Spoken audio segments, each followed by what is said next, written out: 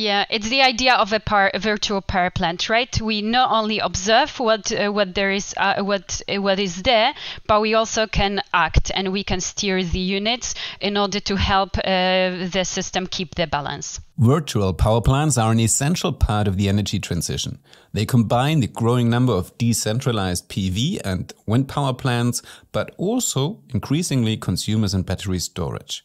However, most people are probably not even aware of the sheer scale of these plants. For example, one of the largest virtual power plants operator in Europe, Next Kraftwerke, just reached the amount of 10,000 megawatt of aggregated power this year, which is as much as seven average nuclear power plants. So, what role do virtual power plants operator play in the electricity market? What functions do the plants themselves perform? And how will they influence the energy transition today and in the future? Let's find out in this episode. Welcome to the Smartery podcast, a podcast for and with the creators of the new energy world. A world in which energy will be renewable, decentralized, and digital, bringing together electricity, heat, and mobility. Let us show you how we will get there and who will get us there. Since I mentioned that Next Kraftwerke is one of the largest operators in this field, we thought why not talk to them directly. So I'm very happy to welcome Aleksandra Radwanska, who is the International Business Development Manager at Next Kraftwerke and has a long history of working in the industry, as for example for InnoEnergy or General Electric, along with her colleague Leonard Hirsch, who is the team lead in the business unit Virtual Power Plant Solution and Services at Next Kraftwerke. Well, great to have you both on the podcast, Aleksandra and Leonard. Welcome. Hi, it's like nice to meet you here. Hello, happy to be here. Well, I mean, we all know in Europe and specifically in Germany, uh, we have some intense turbulences on the energy market. Um, all businesses are quite worried um, heading into winter. I would assume it also keeps you on your toes in your job. So on the power exchange as such, um, where Next Kraftwerke also sells its aggregated electricity, prices are up and down and on a roller coaster. So how does that affect your work? Yeah, um, maybe I can answer to that. Um, so for sure, it affects our work a lot at the moment. We are um, from in our day-to-day business, we are um, facing this situation because what we actually do is we aggregate many different clients in our virtual power plant. So um, we have this is our core business, so to say, right? Um, we aggregate producer side, mainly PV, wind, and biomass plants, and enable them a market entry. So what we do here is um, we integrate them in our system, in our system, collect the data. Um, they, they, they, their live in-feed data, so to say. We create forecasts to expect what what are going, uh, what are they going to produce the next day, and that we have to market at the at the energy exchanges. And we have also to adjust the product, production of these plants if something unexpected happens. So we do face a situation at the moment um, as we are daily marketing these energy sources. Um, and uh, as you might imagine, as prices are very high at the moment on a on the ground level, also our risk increase in marketing. We have to be really make sure to to uh, forecast the right production, um, don't uh, to reduce our imbalance as much as much as possible. So we have to be very very careful at the moment. So, uh, do virtual power plants actually also have an influence on the exchange prices, or are you on the receiving end of the price? Yeah, definitely. I would say so because what we do is we enable comparably small renewable energy units, right? And we integrate them into the market. Um, we, as as Next Kraftwerke, are mostly on the supply side, as we are. Um, our, our, portfolio consists mostly of PV, uh, biogas, and wind and hydro, and so on. But also on the demand side, with uh, so, some demand units we aggregate in our system. And you might imagine the more units coming into a system, it has also an effect, right? We reposition um, on on both sides here, and here it's very important to see. I would say that um, the more renewables you generally would add into a, such a system, especially with prices at the moment, it would lead to decreasing prices. This is about the general price level, maybe. When you talk about um, situations of scarcity, for example, we can also deliver flexibility with our units, so we can be there when there is probably a lack of energy with our biomass plants, with hydro plants, with batteries, stuff like that. So yeah we try to um, to be as, as good as possible in the market. And in the best case, we our part in the market is also to smooth prices. So I, I would say we have a smoothing price effect with our with bringing our assets to the market. So that refers to price fluctuations and turbulences. If we skip over to the more technical bit of it and um, the, the, power fluctuation, especially with renewables, do virtual power plants also play a role in helping to stabilize the power grids on a technical level? And if so, how does it work, Aleksandra? Yeah, that's. Um the general idea or the main goal of a virtual power plant, uh, right? So uh, the idea of a virtual power plant here in Europe, uh, in our company in Germany, was created in order to counteract to the instability that is uh, that is brought by weather-dependent uh, resources such as photovoltaics and wind. And these uh, technologies, the share of these technologies of wind and, and solar units is constantly growing. Right here in Europe, this is a known fact. So it influences the electricity generation in the whole national system or even the European system, right? It becomes more volatile. So on one hand, uh, you can see that we have the um, the generation, which is not very stable. It's weather dependent. It's not always very controllable, especially if you just consider one solar park or one wind park uh, alone, right? And on the other side, you have the demand, which is still not so flexible as you would wish for, right? And then we do not have uh, again efficient, uh, efficient and sufficient energy storage capacity that could be uh, used in the moments when the supply and the demand uh, for electricity do not meet, right? And uh, in this situation, you also have parties with great responsibility, such as DSO and TSO, that really must make sure that the electricity demand and supply perfectly matches in every second. Sounds like a tricky situation to solve. So, um, how do you come into the play? So, we are there. We, as a virtual power plant, as an energy trader, as a, a balancing uh, risk, uh, service provider, we are there to help the transmission system operators to uh, keep the balance uh, in the system. And uh, well, how do we do that? First of all, we forecast the expected generation in the weather dependent sources, such as photovoltaics and wind. We also forecast the expected electricity generation in, in other parts of our portfolio, such as hydropower plants, uh, biogas power plants, uh, and everything that delivers electricity, right? Then our role is to inform the TSOs what we are going to have, what we are expecting, what will we bring to the market. We deliver them the forecast, and we also trade this electricity on the on the short-term uh, market on a day-ahead basis, which also already provides an, a piece of information to the um, to the managers of the electrical system what to expect on the next day. Right? We at Next Kraftwerke we specialize in short-term power markets, so we trade the electricity mainly on the day-ahead market and in the intraday markets, trying in fact to match the forecast uh, or what we are going to have in our portfolio on the day of the delivery.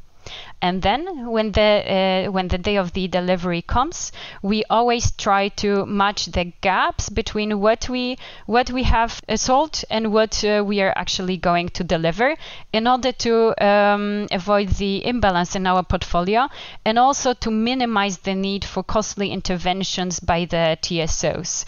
Um, so that's what we call proactive flexibility uh, from a trader. There is also one case of uh, proactive flexibility, which is in fact uh, doable with steerable assets uh, that we have in the portfolio, uh, biogas power plants, hydropower plants mainly. This is an activity uh, which we do when we observe uh, changes or differences in the prices throughout the day. So, for example, in the weekends or uh, in summer during the photovoltaic hours, the energy prices are low, very low, or even negative. And this informs us about the fact that there is enough electricity to cover the demand, right, of, uh, of the consumers. So there is in fact no need from the traders, from the aggregators, from virtual power plants to mobilize additional uh, energy sources. So we can either take out the energy from the market, for example, by ramping down uh, the production in steerable assets, such as biogas power plants, for example. And I guess it also works uh, the other way around. If you need to ramp up power supply because there's a bigger demand for power or energy, I see. That's how we create flexibility. And there is one more way how you provide electricity uh, to the uh, flexibility to the system, which is uh, to respond to the uh, transmission system operators' needs, right? So we are also a um, provider of frequency containment reserve and frequency restoration reserve. And it means that when the transmission system operator calls us to do that, then we ramp up or uh, ramp down the production of the uh, electricity in our portfolio to uh, really help them keep the frequency at the 50, 50 hertz in the last years, we have been doing it with normal assets like biogas and hydropower plants, but recently we also gained the experience with electrolyzers, uh, with uh, batteries, uh, and uh, even with uh, electric vehicles and residential batteries. All right, Aleksandra, that ate up basically the portion I assigned for you um, throughout the podcast. I'm afraid the rest goes to Leonard. um, but thanks a lot. I, I, think that basically gave us the, the 101 of how a VPP operates. Um, I really wanted to be very informative in it. Thanks. You, you clearly come well prepared. But uh, just as a very small follow up question um, so that means not only do you aggregate, but you are in close lockstep with the actual energy producers and you do have the leverage to actually ramp down like a biogas factory. Yeah, it's the idea of a, power, a virtual power plant, right? We not only observe what uh, what there is, uh, what uh, what is there, but we also can act and we can steer the units in order to help uh, the system keep the balance. Oh, so interesting! I would have so many questions how that works on a technical level, but I think that would be an episode in itself, so we'll skip that. Now we have biogas, um, you know, um, units. We have all sorts of different units. Those are probably still very large and more on a professional level. Now we have more and more consumers, I guess, being integrated actively into the energy system. Uh, the more also home storage grows, the more intelligent units are at home in people's homes. So uh, what's their role in ensuring like a reliable power supply and grid stability? I guess the professional word here is demand side flexibility. Do you also can you steer that as well, or is that more an effect that changes the structure of how you operate as a virtual power plant? Um, I, I, would say this is part-wise to answer, right? So in general, there are already demand-side flexibilities also integrated in our virtual, virtual power plant, for example. But nowadays, it's really mainly bigger industry processes. Um, aluminium is like a big topic here, I would say. But what we could actually observe in the past was that the flexibilization of the system was really more happening on the supply side until now. Now speaking for Europe and Germany in, um, in specific, I would say. Um, this is simply based on the fact, I would say, that that they are naturally already in the energy system and they try to, to leverage their opportunities or, or try to leverage their opportunities in the past now as prices are roller coasting, um, as you as you mentioned before, right? The demand side has is facing energy as a major factor of their processes. So they try to already also enter the market. Um, flexibilization of energy is a big topic for them. And I think we will see increasing um, participation here in the future. I said part-wise at the beginning, I would say, because um, we are mainly our expertise in, in how to flexibilize processes is now nowadays more or less really focused on the um, supply side, or in general in the energy, is very focused on the supply side. So I think for us as a VPP, it's very important to analyze the processes, understand the processes to the fullest, because the clients will only hand over the flexibility to you if they really trust you that you do not disturb their their primary goal, which is not energy optimization, but some industry process. So actually, I introduced the question where you can see that I'm not an expert in the field yet, because um, I imagined private consumers, but you refer to industrial consumers. And I absolutely can understand that if you run an aluminium factory, that you certainly do, yeah, you, you need a high level of trust that your your production doesn't suddenly stop because um, Leonard at um, Next Kraftwerke decides to shut down the electricity supply. Um, so th that I understand totally. Now, to my um, naively informed question, does private private consumption also play a role in the long run? Uh, I guess on the long run, definitely. So, so how you could see the flexibilization of su- such a thing as the demand side is it's really it's it's the big steps or the, the small steps first, right? So first you, it will be the bigger processes, and then the more and more, um, like also the um, the expertise and the different technologies in the field also get more profitable in terms of um, digitalization prices, technology you use to um, leverage all all these potential revenues. Um, will the, the, asset size will smaller and smaller? That's what I try to get to uh, to say here, right? And we can definitely see in in the market, we can already see that there are ma many uh, upcoming companies that also try to focus on that, right? But if you want to come up with an example here, when you the, the revenue you can get out of optimizing your washing machine is probably something in from you get from 50 euros per year to 40 euros if you really do a good job, right? If um, and and there you have to be very cost efficient to to go to, to this use case at all. So we, we do not see that at the moment happening, but I think in the future this will definitely be yeah be a use case. But on the, let's say, in this transition period, you would rather expect, uh, for example, residential batteries or electric vehicles, or maybe heat pumps uh, to enter such a market, right? Because these are the devices that really are more uh, energy consuming, uh, and it really makes already more or less economic sense to to play with their uh, consumption or to do something with them that benefits the, the grid. Absolutely correct. So the washing machine, I guess, will be the last part that we will see flexibilized, flexibilized at the end. Now, a topic that is super fascinating, specifically because the potential for acting as a huge virtual buffer is enormous. But however, every time we talk about it also at for example at um, the smart e in munich in every panel you always hear that vehicle to grid is so fascinating, potentially so powerful, yet we're totally lacking behind. And usually it's because there's not a viable business uh, model for it yet. I know that Next Kraftwerke also works with Hyundai or LG um, Electronics on a project in that realm to see how much, you know, the e-vehicles could provide balancing power uh, for the transmission. So are you more operating on a uh, to, to, you know to have a pilot project on a technical level or are you also a step ahead already in terms of actually creating a, vi a viable or feasible business case? Mm.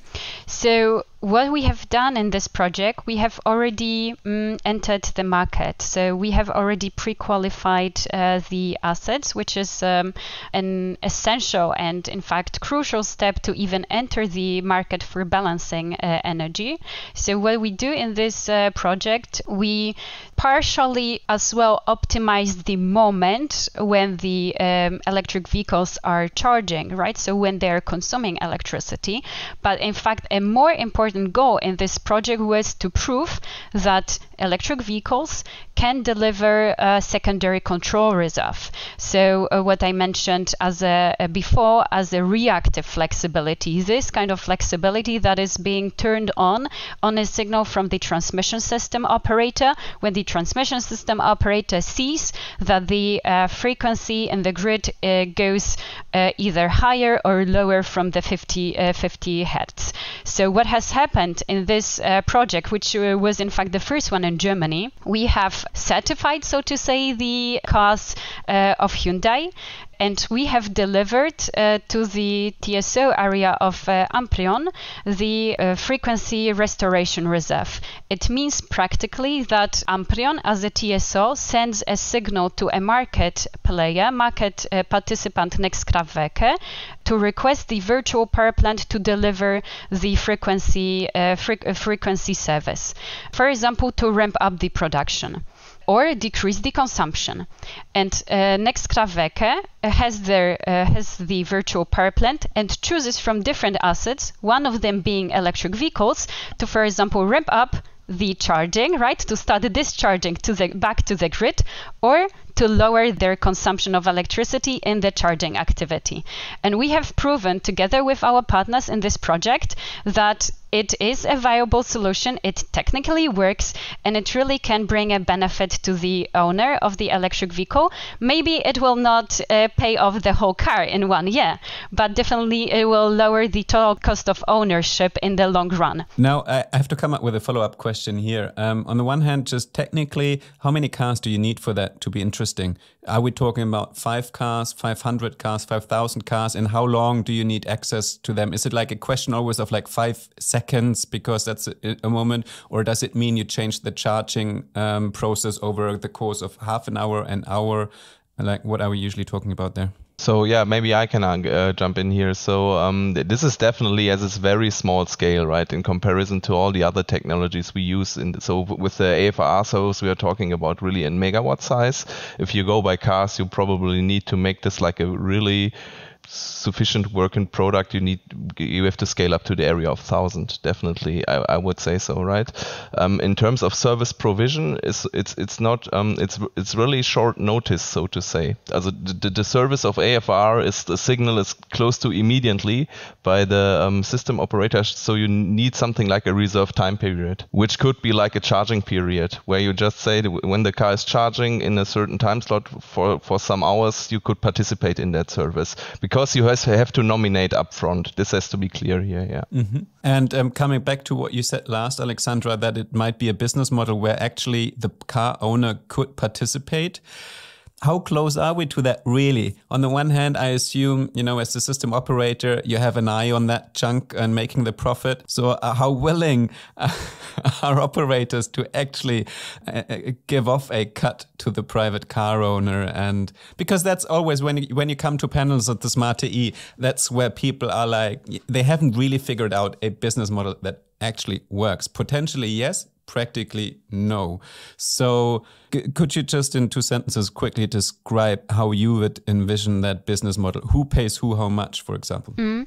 So, um, very, very short answer. For every activation, for every action of delivering the reserve to the uh, to the system, we get paid. And uh, we, as an aggregator, we have such a business model that we share this uh, this win uh, with uh, the end customer.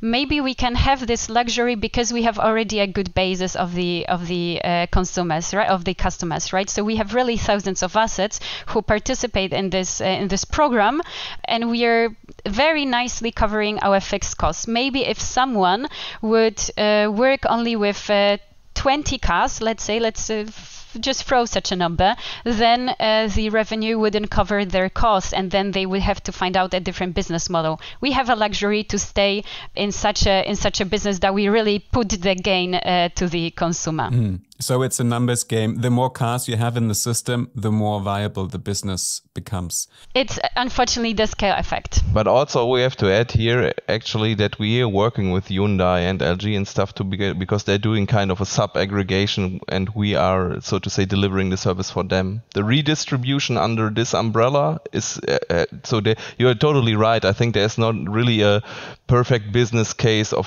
how the how this all gets distributed at the end. We have this partner who's doing sub aggregation for us we are corresponding with them, so to say, and they are then, yeah, they are somehow managing how this is distributed to the cars, right? So we talked about cars now, but of course, people specifically this winter are investing heavily in, in new solar systems on the roof, in heat pumps, uh, mainly in heat pumps, basically. That's, I think, the biggest thing for this and next winter to save costs. So with all these devices, uh, will we will we be part of a virtual power plant eventually? Yeah, this is this refers actually to the point we discussed earlier a little bit. I think not yet, right? So because the, the fixed costs we will not cover to enter your home system. This is, doesn't make sense at the moment.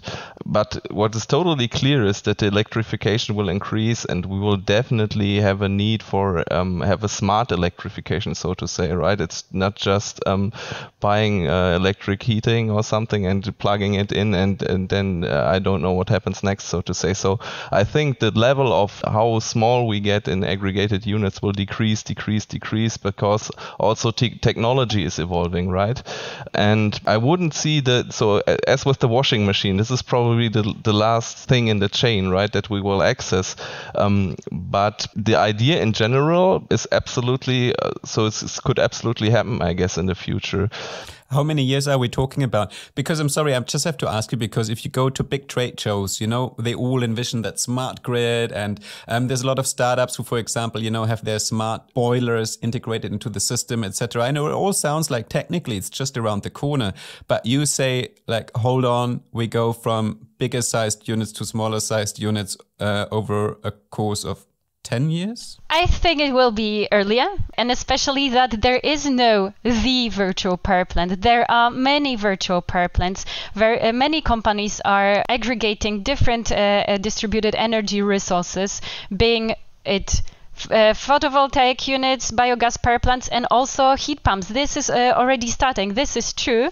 And I think that we will all I, I, really think that if we all have a um, electric device that uh, consumes a lot of electricity and has quite a bigger uh, capacity than a washing machine, for example, sorry for the washing machine producers, that will all become a part of virtual power plants. Uh, at least this is my hope because if we electrify everything, we electrify transport, heat, and everything that there is, then uh, there really must be several informed parties who take part and who really manage uh, this uh, energy demand in uh, in an intelligent way because otherwise the transmission system operators will have way too much uh, work to do and way too much headache. So you're optimistic that we get there a lot sooner. Um, so um, I, I hope you're right, Aleksandra.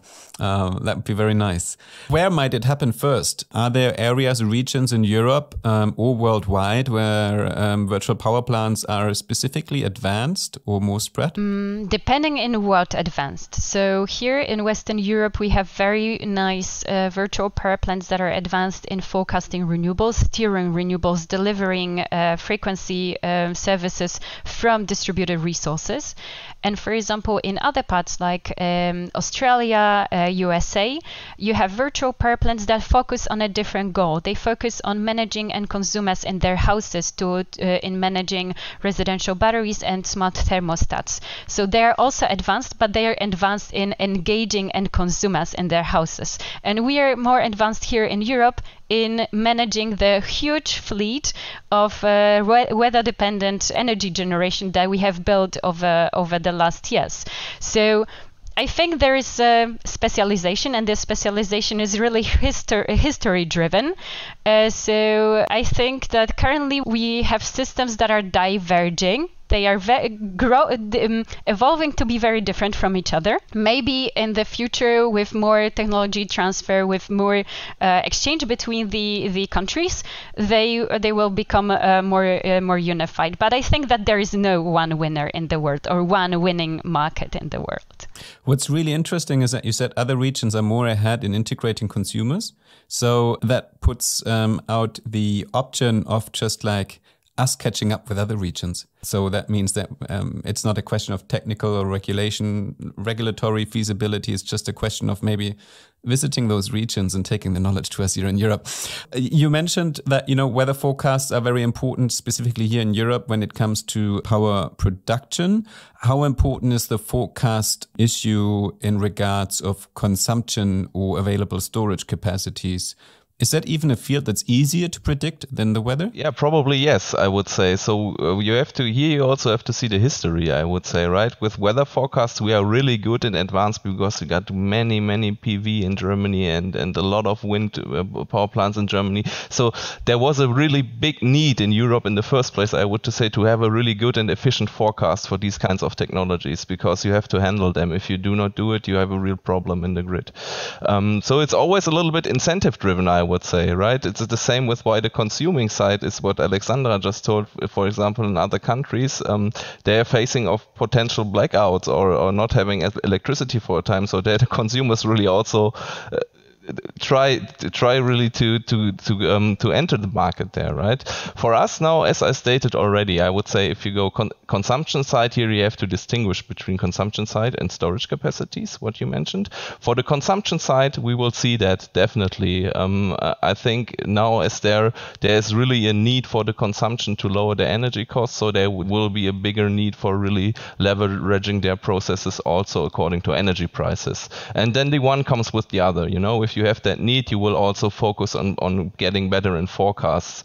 With storage capacities, um, this is really good to calculate actually. If you're talking, for example, about batteries, right here, and doing not so much a forecasting but a calculation. Um, if, if, if you say, I want to act tomorrow with this schedule, so to say, right, I want to operate my battery like this, you can pretty, pretty good calculate how your storage will look like. So, and this is already happening actually, right? With batteries, for example, um, I, I know, I think you, you, were questioning about batteries with storage capacities. Um, when you take part in short-term markets or um, also in ancillary service, you really have to manage your, your storage and therefore the forecasting is already pretty much advanced, I would say. Last question. Where are we headed in the market with VPPs as such? Now, Next Kraftwerke is a huge operator.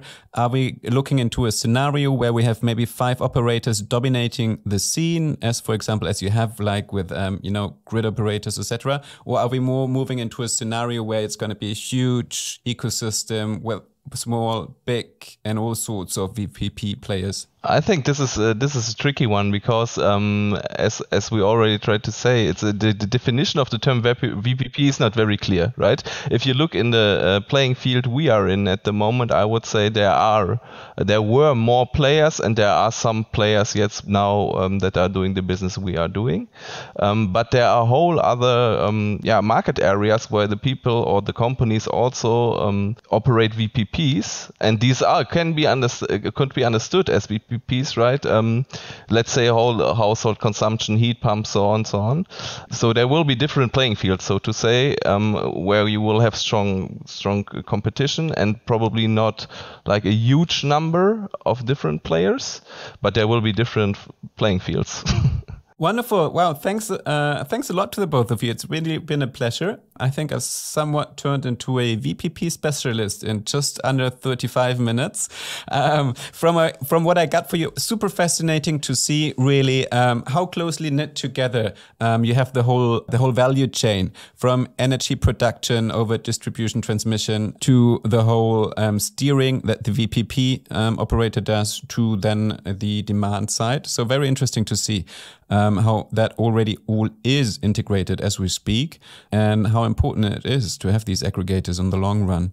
So let's hope, by the way, that really the V2G case you're working on uh, will come to fruition very quickly because I think it's one of the biggest assets we need um, on the long run for a distributed renewable power system. So thanks a lot to the both of you, really, for taking your time today. Thanks for having us. Thank you.